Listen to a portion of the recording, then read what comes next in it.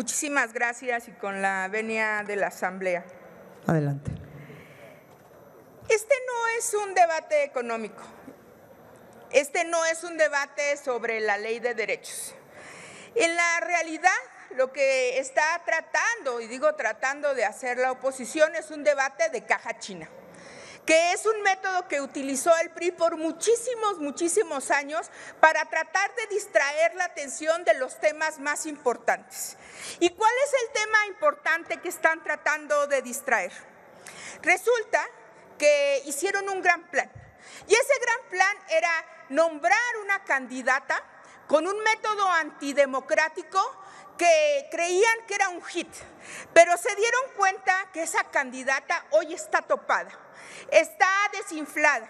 Se dieron cuenta que el escándalo y la estridencia tenía límites y Xochitl Galvez ya llegó a ese límite. No solamente su falta de capacidad o su cualidad de ser la chistosita de la clase, por no ponerle otro adjetivo calificativo, ya no es atractivo para los mexicanos. Hoy se tiene que inventar cualquier cosa y sus vasallos de este lado tienen que venir a hacer sus batiseñales para poder decir que ella es la fregona, aunque está un tercio abajo de nuestra coordinadora nacional de los comités en defensa de la transformación.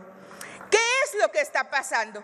Se están dando cuenta que se les acabó la distracción, que mientras nosotros tenemos un proyecto serio, ellos están armados con, pues apenas Xochitl, que es una plagiaria, que dice que la pendejió, que sale con un pene de una cantina de Chihuahua, que no deja el Senado porque no tiene otro escaparate ni otro tema, y que ella dice que le pide a la coalición candidatos presentables. Por Dios santo, la ungió Alito, Claudio X González y Marco Cortés. ¿De dónde le van a poner candidatos presentables? Hasta el discurso feminista se le acaba.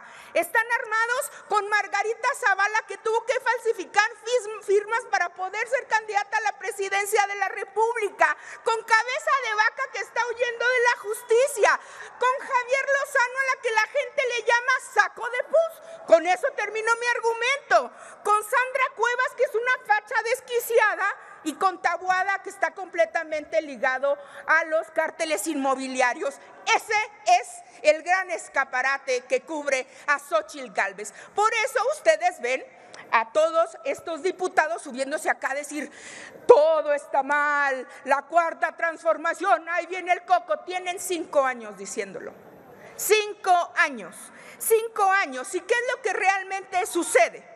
Tenemos una cuarta transformación que tiene crecimiento económico e inversión extranjera a pesar de la pandemia, a pesar de la guerra y a pesar de la situación económica mundial. Tenemos proyectos de infraestructura de alto calado, inclusive mucho más grande de cualquier proyecto de infraestructura en la modernidad.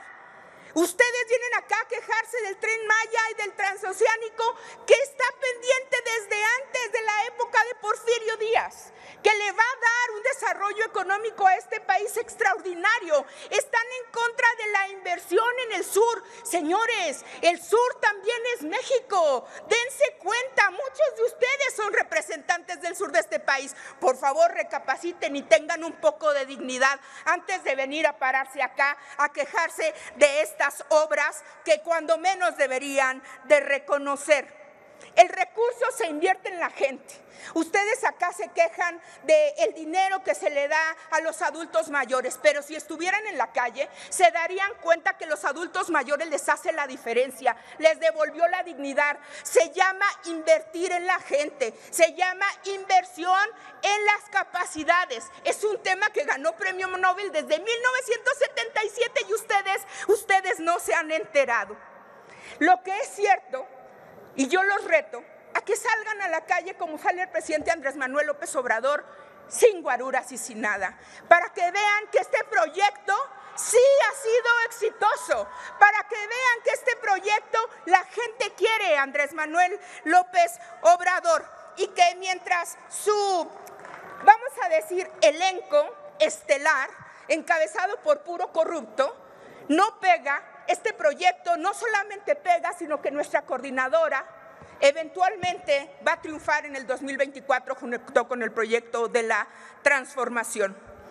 Yo solamente quiero cerrar diciendo, compañeras y compañeros de Morena, compañeros y compañeras del el movimiento, ya entendí cuál es el rol de esta diputada palera que se sube de vez en cuando acá, que yo decía, pues ¿cuánto le pagarán a esa mujer para que se suba a decir tanta locura?